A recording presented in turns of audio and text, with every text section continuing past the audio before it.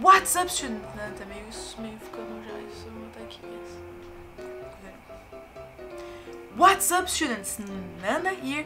E hoje a gente vai ver aqui nesse canal uma expressão muito útil e muito comum aqui, pelo menos na língua portuguesa, e como dizer ela em inglês. E o filme que a gente vai usar para isso é O Amor Não Tira Férias, que particularmente é um dos meus sonozinhos. E tem o Jude Law, né, gente? O Jude Law, eu vou pedir pro editor colocar o Jude Law aqui. Olha o Law. Olha pra essa carinha. Vê, vê, vê se dá, dá pra resistir o Law? Não dá, não tem como. Faz como? Não resiste, só se entrega. então sim, vocês podem acrescentar o Jude Law aí na minha listinha de, de crushes. Eu sei que vocês estão mantendo uma listinha de crushes da Nanda. Coloquem Jude Law aí nessa listinha junto com Colin Firth e Robert Downey Jr.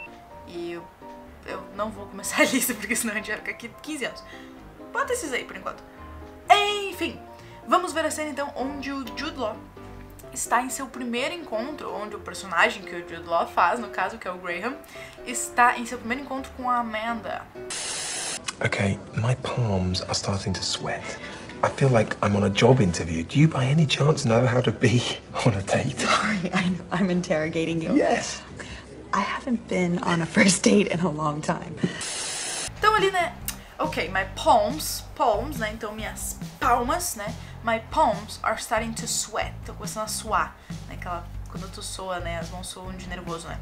I feel like I'm on a job interview. Né? Eu tenho, eu sinto como se eu estivesse num, numa entrevista de emprego, porque ela tá interrogando ele, ela tá fazendo tipo, várias perguntas profissionais, num, num encontro amoroso, né? Mas tudo bem. E aí, ó, do you, by any chance, know how to be on a date? Gente, esse by any chance, o que, que é esse by any chance, tá? Ele é por acaso. Por acaso, quando a gente vai perguntar alguma coisa pra alguém, tá? Então, por exemplo, assim, ah, tu por acaso não viu a, a novela ontem? So, uh, did you by any chance see the, the soap opera last night? Soap opera last night. Did you by any chance uh, see the soap opera last night? Or watch? Fica melhor também, watch the soap opera last night. Então, geralmente, quando quando tu vai fazer uma pergunta, né? Então, ah, sei lá, por exemplo, have you, by any chance, uh, finished the project? The project. Então, por, um acaso tu terminou o, o projeto, ou ah, por acaso tu assistiu a novela ontem, então ele é mais usado para perguntas, tá? Então, by any chance. Então, ah, por acaso tu tem alguma ideia de como, né, é um encontro, né, know how to be on a date? A gente também tem uma variação que é o by chance, que é a mesma coisa, mas daí é pra dizer que algo aconteceu por acaso. Então não é numa pergunta, né? A pergunta a gente vai usar o by any chance. E aí na frase, por exemplo, assim, ah, I met uh, John yesterday by chance. Então, ah, eu conheci o John ontem por acaso, tava andando ali, né? se encontramos, a gente se conheceu. Ou tipo, por exemplo, I went to that bar uh, by chance. Então, tipo, ah, eu fui pra aquele bar por acaso. Não, não, não tava nos meus planos, é by chance. Então, por acaso, para perguntas e por acaso para quando a gente fala de ações, né? Então, ali, by any chance, know how to be on a date.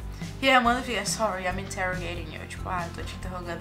Yes! Né? Tipo, o Graham fica, caramba, não precisa perguntar entrevista dele, porque ela perguntou, ai, sempre quis fazer isso na tua vida, qual que é a tua carreira? Ai, como é que tu entrou nesse negócio? Por onde é que tu se formou? Né? Que, que, que tu se, no que que tu se formou? Tipo, como se fosse uma entrevista de emprego mesmo, dele fica tipo, calma moça, calma. Mas eu também ficaria nervosa no encontro com o Jude então não vou julgá-la. E aí a Amanda fala, né, tipo, I haven't been on a first date in a long time. Então eu não, não tenho, né, não tive um, um primeiro encontro há muito tempo, já não tenho um primeiro encontro. Então por isso que ela tá uh, nervosa. Ok, gente, então todo mundo pegou aqui, by any chance, by chance, né? Perfect. Então se você entendeu bem, me fala uma frase aqui nos comentários aí embaixo, né? Pra eu saber que você entendeu realmente bem como usar essa expressão. Agora, como resistir ao sotaque britânico do Jude Law. Eis o mistério da fé. né? Vamos, se alguém um dia me descobrir aí a receita, me, me, me avisa como resistir, porque, né, tá, tá, não consigo, nem sou incapaz. Curtiu o vídeo? Então deixa o like aqui nele, né? Se inscreve no canal, comenta aí uma frase com by chance, by any chance. Comenta sua sugestão de filme também que você gostaria de ver aqui. E assistir esses outros vídeos aqui, gente. Garanto que você vai super gostar desses outros vídeos. Se inscreve no canal aqui, né? Faça aquela coisa, deixa o like, né? Eu tenho certeza que você vai aprender. Assim como você aprendeu com esse vídeo e deu risada com esse vídeo e se divertiu com esse vídeo, eu tenho absoluta certeza que você vai se divertir e dar risada com esses outros dois vídeos, ok, gente? Então eu vejo vocês no próximo vídeo.